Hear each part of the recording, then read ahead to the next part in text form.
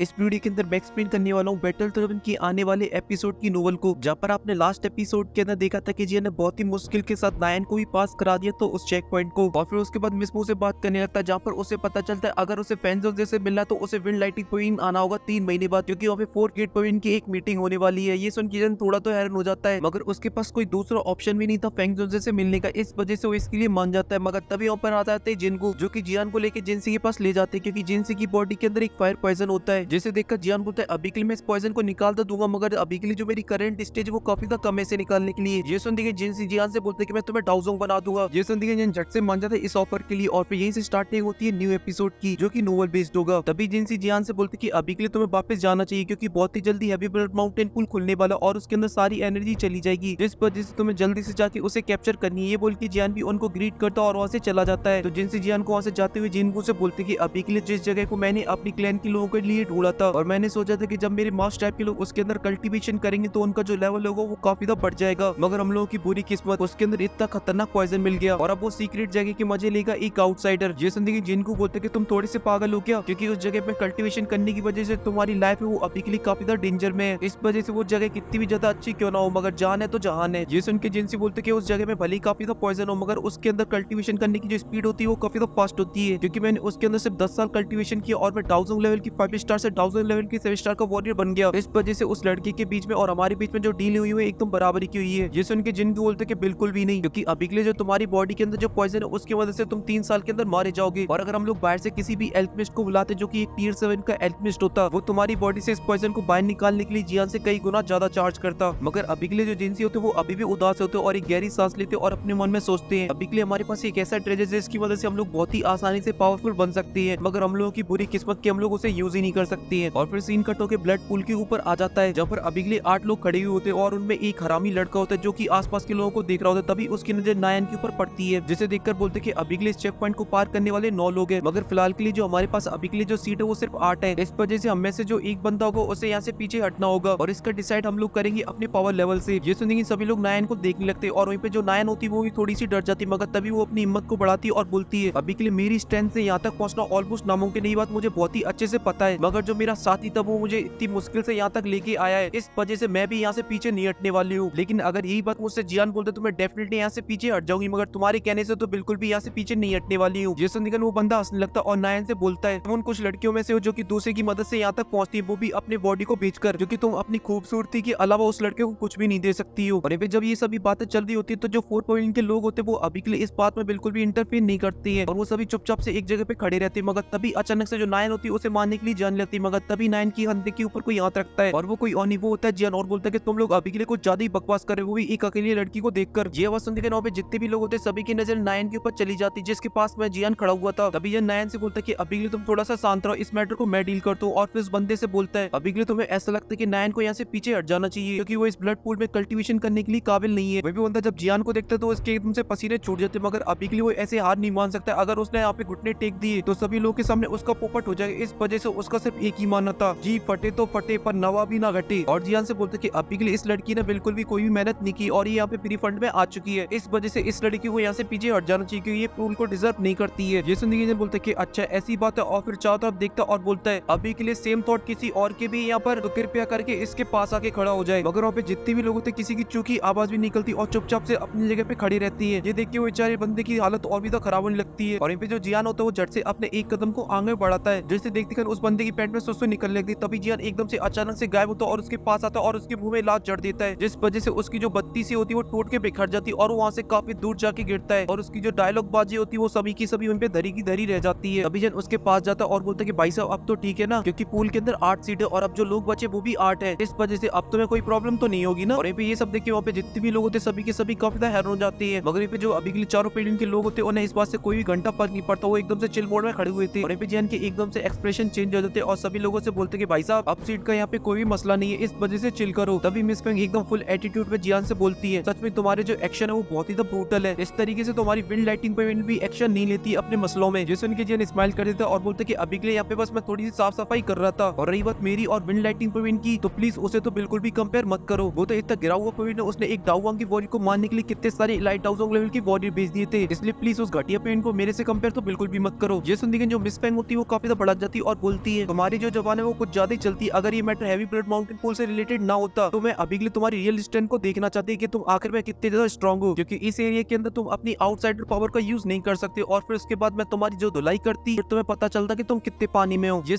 Engine एक smile के साथ बोलते कि अगर तुम्हें कभी भी टेस्ट करने का मन करे तो तुम कभी भी और कहीं पे भी आ जाना, बंदा हाजिर हो जाएगा। ये सुनते मिस पेंग की ऊपर से नीचे तक जल जाती, मगर वो अपने गुस्से को शांत करती और हैवी ब्लड माउंटेन पुल की तरफ़ देखने लगती है, क्योंकि वो कुछ ही देर के अंदर अपेयर होने वाला है और उसके अंदर एक लिमिट अमाउंट के अंदर ही एनर्जी है, जैसे उसे जल्द से जल्द एब्सॉर्ब करना है। इस वजह से वो जियान के साथ डायलॉग बाजी नहीं करती वहीं पे जियान भी ये देखता तो जियान भी उसे छोड़ देता और नायन के पास चला जाता है। और एक स्माइल के साथ बोलता है नायन तुम अभी के लिए ठीक तो हो ना? जैसे लेकिन जो नायन होती है, उसका जो मुँह तो एकदम से लटक जाता है और वो रोने वाली होती है। मगर वो अपने आप को कंट्रोल कर लेती क्योंकि अभी के लिए जो जियान की प्रोटेक्शन है, उसे अपनी मास्टर यूनिट से भी ज़्यादा अच्छी लग रही है। उसे ऐसा लग रहा है की वो जियान के हाथों में सबसे ज़्यादा सेफ़ है। मगर वो ये बात को भी बहुत ही अच्छे से जानती की ये जो सफ़र है, वो बहुत ही जल्दी खत्म होने वाला जैसे ये हैवी ब्लड माउंटेन पुल खत्म होगा, वैसे ये जियान का और नायन का जो सफ़र है, वो खत्म हो जाएगा। इस वजह से वो अपने दिल पे पत्थर रख के जियान के साथ साथ आगे की तरफ़ बढ़ रही होती है और तभी वो अपने दिल की कुछ बात बोलने वाली होती है। तभी वहाँ पे एक बहुत ही बड़ा एनर्जी का ब्लास्ट होता है, जो की काफ़ी कलरफुल होता है, जो सीधा हैवी ब्लड माउंटेन पुल से टकराया था, जिसे सेंस करते सभी लोग पहचान जाते कि अभी के लिए इस लाइटनिंग के अंदर काफ़ी ज़्यादा एनर्जी है, जो की अभी के लिए हैवी ब्लड माउंटेन पुल के अंदर जारी जैसे देखते वो कब तक खुश हो जाती है। और ऐसी ये जो प्रोसेस होती है, वो थोड़ी देर तक चलती रहती है और वो सभी लोग काफ़ी ज़्यादा एक्साइटेड भरी नज़रों से उसे देखते रहते हैं। मगर जो आसमान से एनर्जी आ रही थी, वो धीरे धीरे करके और भी तो पावरफुल होती जा रही थी। इस वजह से जो आसपास का माहौल होता है वो भी थोड़ा सा खराब होने लगता है। ये देखते वो सभी लोग अपनी दोई से अपनी बॉडी को कवर कर लेते हैं क्योंकि यहाँ पर अभी के लिए जितने भी लोग खड़े थे, वो सभी के सभी काफ़ी ज़्यादा पावरफुल थे, क्योंकि वो यंग जनरेशन के टॉप क्लास के वॉरियर थे। और तभी हैवी ब्लड माउंटेन पूल के अंदर से एक बहुत ही बड़ा एनर्जी का ब्लास्ट होता है, जिस वजह से वो पे चौथा फ़्लाइट फैल जाती है। मगर वो ज़्यादा देर तक नहीं रुकता और फिर से चीज़ें एकदम क्लियर हो जाती है, जहाँ पर जो जेंसी होते वो भी ऊपर आ चुके थे। और साथ ही उनके साथ दो माउस टाइप के डिसेबल भी होते तभी जेंसी सभी लोगों से बोलते हैं फाइनली वो टाइम आ चुका है, अब अब लोगों को एक पल की भी देरी नहीं करनी चाहिए, क्योंकि अभी heavy blood mountain pool open हो। चुका है। इस वजह से कूद पड़ो ये सुनकर वहाँ पे जितने भी लोग होते सभी के सभी काफ़ी एक्साइटेड हो जाते और फिर क्या एक मछली पानी में चपा मिस फेंग और फिर दूसरी मछली पानी में चपा मिस मुँह और फिर ऐसी करके दस मछली पानी में कूद जाती है। और यहाँ जो चारों पॉइंट के लोग होते हैं, वो ज़्यादा से ज़्यादा नीचे जा रहे होते और यहाँ पे जियान होता है, वो नायन की कमर को पकड़ता और नायन को लेके अपने साथ जाने लगता और नायन से बोलते की अभी के लिए जब पर भी थोड़ी बहुत एनर्जी दिखाई दे, तुम उसे कंज्यूम कर लेना। मगर एक बात का ध्यान रखना, गलती से भी इस पुल के नीचे मत जाना। वो तुम्हारे लिए काफ़ी खतरनाक हो सकता है और साथ ही मेरा तुम इंतज़ार मत करना, इस हैवी ब्लड माउंटेन पुल से निकलने के बाद, क्योंकि मुझे यहाँ पे काफ़ी ज़्यादा लंबा टाइम लगने वाला है। और फिर चारों पिलिंग के डिसेबलों को देखता है, जो की अभी के लिए फुल स्पीड से नीचे की तरफ़ जाते जा रहे होते हैं। तो जियान भी अपनी गाड़ी का छठवा गेट डालता है और नीचे की तरफ़ जाने लगता है। और जियान कुछ ही देर के अंदर उन चारों पिलिंग के डिसेबलों के पास पहुँच जाता है, जहाँ पर वो चारों अभी के लिए एक दूसरे में लगे त्री लगे त्री बजाने में लगी हुई थी, क्योंकि वो चारों इस हैवी ब्लड माउंटेन पुल के बेस्ट एरिया को कैप्चर करना चाहते थे। ये देख के जियान बोलते की चलो अच्छा हुआ की अभी के लिए मुझे यहाँ पर इनके साथ कल्टिवेशन नहीं करनी है, वरना मुझे इनके साथ पंगा दंगा करना पड़ता। और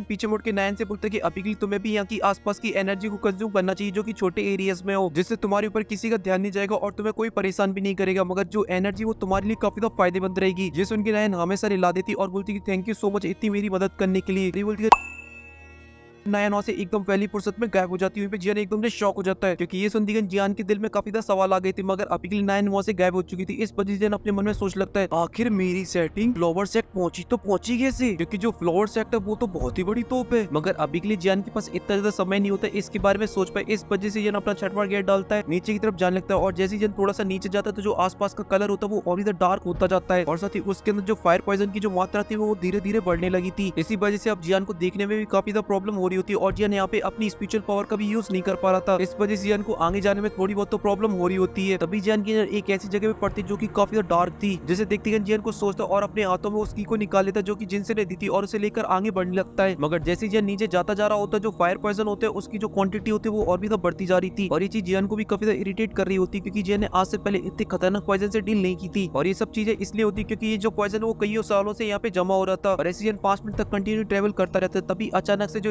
स्केलेटन होता है, वो चमकने लगता है। जैसे देख के जियान के चेहरे पे एक स्माइल आ जाती, तभी जैन की नज़र पड़ती एक बैरियर के ऊपर, जब पर अभी जो फायर पॉइजन था, उसकी क्वांटिटी और भी ज़्यादा थी। मगर जैन उस पर ज़्यादा ध्यान नहीं देता और उस बैरियर पे उस स्केलेटन को रख देता, जिस वजह से जो बैरियर होता है वो हट जाता है और वहाँ पर एक गुफा अपेयर हो जाती है जिसमें से काफ़ी भयानक तरीके से फायर पॉइजन बाहर निकलता है जो की जियान को पीछे ढकेने लगता है। तो जियान झट से अपनी ग्रीन लोटस फ़िल्म को बाहर निकाल लेता और उस फायर पॉइजन को रोकने लगता है अपनी बॉडी के अंदर एंटर करने से। और साथ ही उस केप के अंदर घुसने लगता है और ये भी जो फायर पॉइजन होता है वो बाहर भी आ जाता है जहाँ पर अभी के लिए बाकी के सभी लोग कल्टिवेशन कर रहे होते हैं और और वो भी अपनी तो की मदद से उसे रोकने की कोशिश करते हैं। मगर उसकी जो पावर थी वो काफ़ी ज़्यादा होती है। इस वजह से वो लोग ज़्यादा दिन तक उसे नहीं रोक पाते हैं। और वो सभी लोग अपने बोरी बिस्तर उठाते हैं और उसे हैवी ब्लड माउंटेन पूल से बाहर निकल आते हैं। और यहाँ पे जो जियान होता है, वो अपनी ग्रीन लोटस फ़िल्म की मदद से उसके अंदर घुसता रहता है और कुछ ही देर के अंदर उसके अंदर घुस जाता है। जब पर जियान को अभी वहाँ पे काफ़ी ज़्यादा एनर्जी तो महसूस हो रही थी, मगर साथ ही साथ जो पॉइजन था, वो भी बहुत ही ज़्यादा था। मगर जियन इस बात पे ज़्यादा ध्यान नहीं देता और क्रॉस लेग करके बैठ जाता और अपनी कल्टिवेशन करने लगता। मगर जैसे जियन अपनी कल्टिवेशन स्टेज के अंदर जाता तो उसकी बॉडी एकदम से आसपास की एनर्जी को कंज्यूम करने लगती है, जिसके अंदर लिए फायर पॉइजन भी होता है, जो की जियन की बॉडी के अंदर एंटर करने की कोशिश करता है, मगर ग्रीन लोटस फ्लेम उसको अंदर नहीं घुसने देती है। और ये सब चीज़ें इसलिए होती है क्योंकि ये दोनों चीज़ें काफ़ी लंबे टाइम से एक दूसरे के साथ थी, इस वजह से पॉइजन और एनर्जी एक दूसरे में कंबाइन हो चुकी थी। वो तो जियन के पास एवरली फ्लेम थी, जिस वजह से वो पॉइजन और एनर्जी को अलग अलग कर रही थी, मगर तभी जो एनर्जी होती है, वो थोड़ी से पॉइजन को जियान की बॉडी के अंदर एंटर करा देती है, जिस वजह से जियान की बॉडी तो पूरी तरीके से जलने लगती है, मगर जियान सही टाइम पे अपनी एवरली फ्लेम से उसे सप्रेस कर देता है। और ऐसी जियान को कल्टिवेशन करते करते तीन दिन बीत जाते हैं। और इन तीन दिनों में जियान ने इतना कल्टिवेशन कर लिया था जो की वो तीन महीने के अंदर कर पाता। मगर तभी जियान का जो फ्लेम मंत्र होता है, वो एक्टिवेट हो जाता है और जो कल्टिवेशन की प्रोसेस होती है, वो और भी तो फास्ट हो जाती है और वो बाहर की एनर्जी को बहुत ही बुरी तरीके से चूसने लगता है, जो की छह हज़ार की रशियन सॉरी सॉरी सॉरी गलत हो गया। और अभी के लिए जियान की जो पूरी बॉडी होती है, वो एनर्जी को कंज्यूम करी होती है, जिस वजह से उसकी पूरी नसों के अंदर वो रेड कलर की एनर्जी दौड़ रही होती है और वो एनर्जी काफ़ी ज़्यादा अच्छी होती है वायर की एनर्जी की कंपेरिजन में, क्योंकि इसकी वजह से जियान की बॉडी होती है, वो भी काफ़ी स्ट्रॉन्ग बन रही थी। और ये सब देखने के बाद जियान का खुशी का तो कोई टिकानी तो वो काफ़ी ज़्यादा खुश था अभी के लिए, क्योंकि अब उसे ऐसा फील हो रहा था कि अब वो बहुत ही जल्दी डाउजोन के अंदर ब्रेक थ्रू करने वाला है। मगर ये बहुत ही जल्दी, इतना भी जल्दी नहीं होने वाला था, जियान को ये तो पता था। अभी के लिए उसे अगर डाउन की पीक पे पहुँचा तो कम से कम उसे एक महीने यहाँ पे ट्रेनिंग करनी पड़ेगी कंटिन्यू क्योंकि अभी के लिए जियान को बिल्कुल भी टेंशन नहीं थी, क्योंकि उसकी कोई बस नहीं छोटी जा रही थी। और साथ ही उसे इस बात की भी टेंशन नहीं थी कि आसपास की एनर्जी खत्म हो जाए क्योंकि वहाँ पे काफ़ी ज़्यादा एनर्जी थी, जिस वजह से जन यहाँ पे तब तक कल्टीवेशन कर सकता है, जब तक वो डाउजों पे नहीं पहुँच जाता है। और ऐसी जन को कल्टीवेशन करते करते काफ़ी ज़्यादा टाइम बीत जाता है, तभी जियान की जो बॉडी होती है, वो काफ़ी ज़्यादा मात्रा में एनर्जी को चूसने लगती है। और साथ ही जो जियान को और था अब वो धीरे धीरे राइज होने लगा था। जिसे देख के जियान समझ चुका था वो अभी के लिए डाउ की पीक पे पहुंचेगा, मगर अभी के लिए उसका जो लक्ष्य है वो डाउज हो। गए और वहाँ तक उसे पहुँचने के लिए अभी के लिए उसे और भी टाइम लगने वाला है। इसी वजह से अपनी कल्टिवेशन को कंटिन्यू रखता है। और ऐसी जियान को कल्टिवेशन करते करते कुछ टाइम और बीत जाता है। और अभी के लिए जो जियान था वो लाल टमाटर बन चुका था। अभी जन अपनी आँखें खुलता और महसूस करता उसका जो इल्यूजन बॉडी वो अभी के लिए बाहर की एनर्जी को कंज्यूम कर रही है। मगर अभी के लिए वो जियान के दिमाग में होती है, इस वजह से वो अच्छे से कंज्यूम नहीं कर पा रही है। मगर तभी जन को सोचता और फिर अपनी इल्यूजन बॉडी को बाहर निकाल लेता जो की क्रॉस लेग करके बैठ जाती और एनर्जी को कंज्यूम करने लगती है। और ये देखिए, जन काफ़ी हैरान हो जाता है और बोलते कि मैंने ये नहीं सोचा था यहाँ की जो एनर्जी वो एक लूजन बॉडी भी एब्जॉर्ब कर सकती है। और वो भी काफ़ी फास्ट तरीके से एब्जॉर्ब कर रही होती है। जिसे देख के जन बोलते कि मुझे ऐसा लगता है कि बहुत ही जल्दी जो मेरा अवतार है, वो अभी के लिए इसके मिड लेवल पे पहुँचने वाला है। और ये जान की जन काफ़ी ज़्यादा खुश हो जाता है और फिर वो भी क्रॉस लेग करके बैठ जाता है अपनी कल्टिवेशन स्टेज के अंदर, क्योंकि जन अभी के लिए जल्द से जल्द डाउजोंग पे पहुँचना चाहता था। मगर जिन अभी के लिए इस एपिसोड के अंदर तो डाउजोंग के अंदर नहीं पहुँच पाएगी, क्योंकि इसका जो नेक्स्ट पार्ट आएगा, उसके अंदर ज़रूर पहुँच जाएगा। जिसके बाद जियान की मुलाकात होगी इस बैटल तो सबसे प्यारे कैरेक्टर से। बोले तो अपने मास्टर यालाओ से, जिनकी हालत अभी के लिए बहुत ही ज़्यादा खराब हो रखी है। अगर ये वाला पार्ट आपको जल्द से जल्द चाहिए तो इस वीडियो पे करा दीजिए टेन की लाइक और वन की कमेंट और साथ ही कमेंट के अंदर बताना की आप लोग कितने ज़्यादा एक्साइटेड हो मास्टर यालो से मिलने के लिए, जो की हमारे बैटल तो के बबर सिर है मगर अभी के लिए उनकी हालत थोड़ी सी खराब है। मगर अभी के लिए मेरी बात की है तो मैं तो बहुत ही ज़्यादा एक्साइटेड हूँ मास्टर यालो से मिलने के लिए। और फ़िलहाल के लिए इस वीडियो में सिर्फ़ इतना ही। मैं मिलता हूँ आपसे नेक्स्ट वीडियो में, तब तक के लिए आप सभी को बहुत सारा प्यार।